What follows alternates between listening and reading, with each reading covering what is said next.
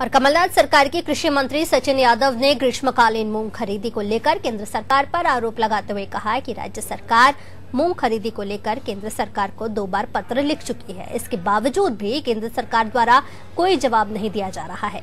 मंत्री सचिन यादव ने कहा कि हम उम्मीद करते हैं कि केंद्र सरकार किसानों के हित को ध्यान में रखते हुए इस पर निर्णय ले।